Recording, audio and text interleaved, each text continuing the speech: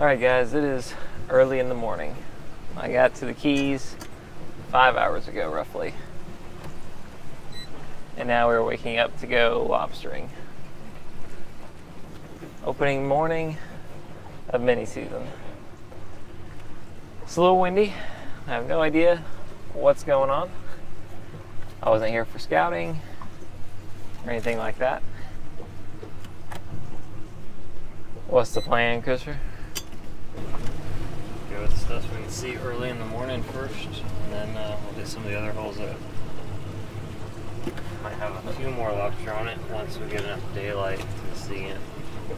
Where's that? Is that the shallow spot? That is the shallow spot. Okay.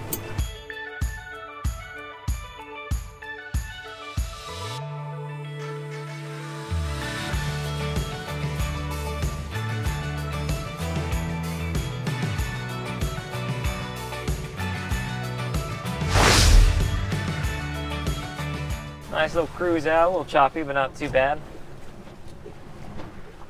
Feeling more awake. It's good. Woohoo! But There's a big old frog right there on the net. uh, yeah, He jumped on me.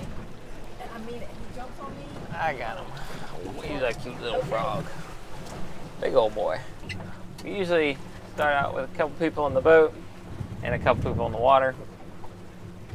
Um, usually Chris and my dad get in first. And what we do is we work those ropes and the uh, and the trade out nets. And when they let go, y'all let me know, and we'll kind of loop around back to them. Sometimes we'll bring the ropes in so they don't get tangled in the motors. Um, and we'll throw them back out. Sometimes we'll actually help pull them in if they need it. And we'll just be switching out uh, nets just to make it a little more efficient. Okay, we're starting to find them. It's interesting how it works. Sometimes you think you go over your numbers, Okay. and then finally you, they start catching them, and you look and you're over your numbers. But before they weren't catching them. But made me a little nervous at first. It was real slow going. They didn't see any, but once we got in the area, seemed to find them. Kind of funny how that works. Rope still out? There ain't very many out there. One. Yeah. How many we got? Uh, seven. I would say the uh, one big tip we need to discuss is when you're lobstering, um, don't get discouraged, kind of like fishing. Uh, I don't know if you heard it. Dad was in the water and he goes, uh, "There ain't many here," Yeah, I heard it. and then we we limit it out. The thing about lobstering is lobster like to hide in structure, and part of the reason they pick the structures they hide in is because they're well concealed. And so, being just off maybe 10 feet sometimes could be the difference of going across a major piece of reef or coral that is packed full of lobster and then being over emptiness.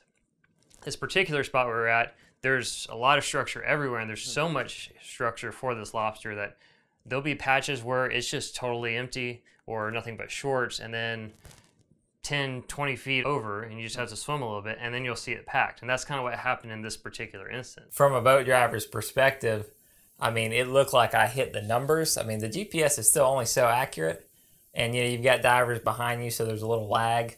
You know, I'll hit them several times, but then I just came over the right angle and got slightly off, and they saw them, and they caught lobster. I think Dad's off. That's all. You want the ropes up? No, you're good.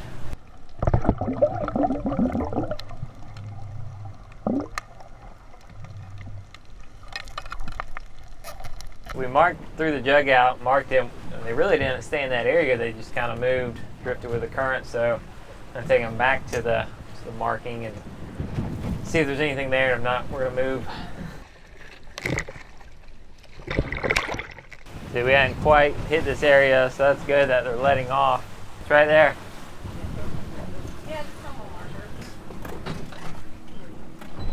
A big tip, uh, I don't think we really talked about a lot before, is having a marker jug ready. Working around the bridges and stuff, sometimes it is just a single hole and you just drop off, you get your lobster, and you're done.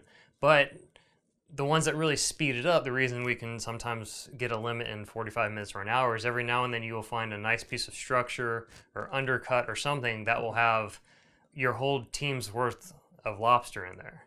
And so that marker jug makes it really easy because if the people on the boat can throw this buoy, you don't have to spend time looking for it, especially if the current's really bad.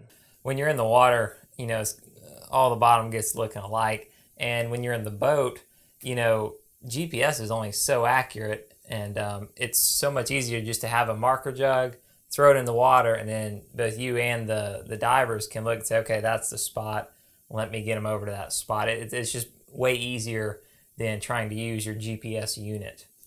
And to have a good marker jug, especially in these good currents, the store bought ones just don't cut it. You need a heavy weight on there. We put like a five pound window weight. So, you know, when we throw that out, it's going to stay on its spot. Don't knock out your divers. Yeah, if you're in the water, and like for me, if I come come up and I see a spot that requires a marker, I like to try and mm-hmm. signal them without yelling out to everybody in the Florida Keys that I'm on a good spot. So come up here and steal our numbers. So I like to try and signal something, wave my tickle stick. I'll, you can come up with any sort of symbol you want, and your boat captain will probably laugh at you for whatever subtle reason it is. but when I do have this spot, I try and stay right on it. And when they throw the marker out, if possible, I try and make sure the actual sinker lands right in the spot so that you know you're going exactly where you need to. Um, also, have those marker jugs ready. I don't mean like, oh yeah, I got one in my boat. It's in my bin. Oh, let me go grab it. I mean, I got it out on the deck. When they need it, I just pick it up and chunk it. Anyone can pick it up and chunk it that fast. One other thing, if you are in the water when a marker's been thrown out, you have to make sure you are conscious of where this marker is, and particularly the marker line. Mm-hmm. Because if you're not careful about that and you get your fins tangled up in it, you could drag the marker off the hole. So when it is thrown in, make sure when you come up to it and you're fighting these lobster that you know where the line is, that you can get out of the way if you have, if the current's blasting you back. Or maybe pull the marker just slightly off to the side so that when you are working it, you're not worried about getting snagged up in it. It's uh, pretty windy today. It's, it's been uh, windy so far down here in the Keys, but uh, we'll be able to make do. We'll show you how you can uh, work through it and uh, go from there.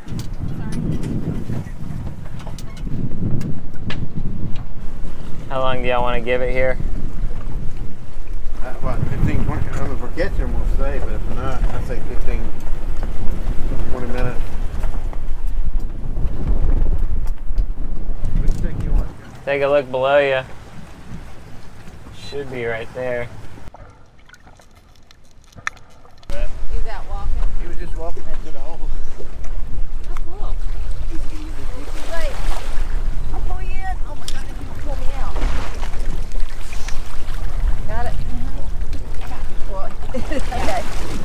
The other thing that's really helpful is uh, having nets. We like to be able to trade out nets, and particularly we like our nets with a decent enough tail where when we scoop up the lobster, we can kind of flip the net over so he can't swim out.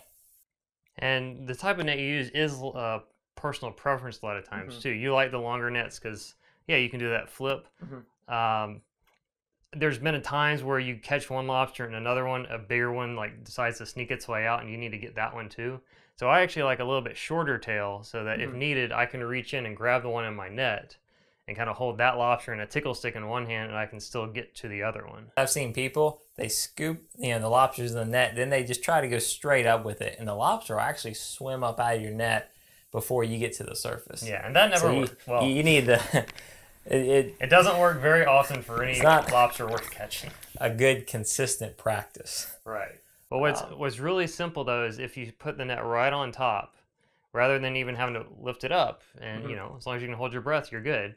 You just set it there. You take your tickle stick along the back of it, and you just rake it forward. Yeah. And that pinches them in too, and then you can swim up, and you're good to go. That's actually what I do most of the time. And then the other thing is just to have plenty of nets on the boat. So mm-hmm. if you are like tagging in and out with the boat every time you take one up to the boat, you don't have to wait for them to empty your net and throw it back to you. You can just hand them that net. They can throw you the next one. They can double check your measurements. It's a practice we always do. We measure it in the water. We let our boat guys remeasure it again just in case.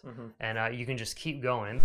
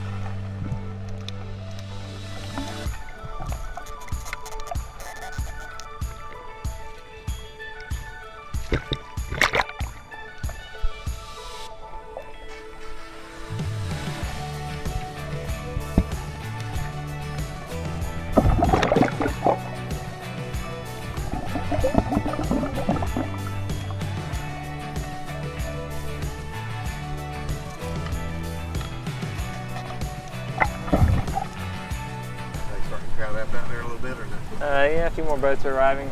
Say the current wasn't too bad, or is it slack now, or I don't know if it's dead slack.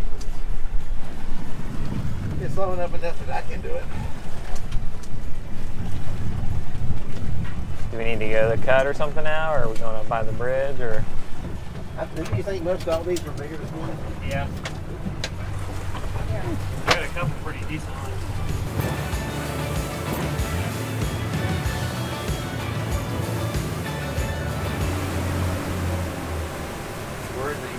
You want to try to keep around now? Seemed like um, kind of right here Uh-huh. is where we were doing good yesterday. Y'all go ahead and get ready. I mean, you might could go a little here, but there were some boats there. I got thunder off.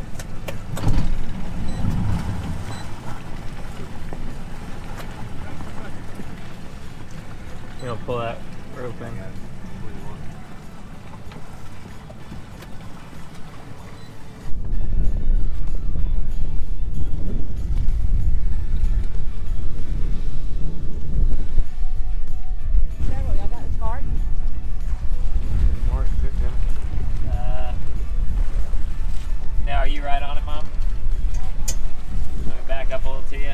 You. I get some mini seasons in the bag. You see any issues?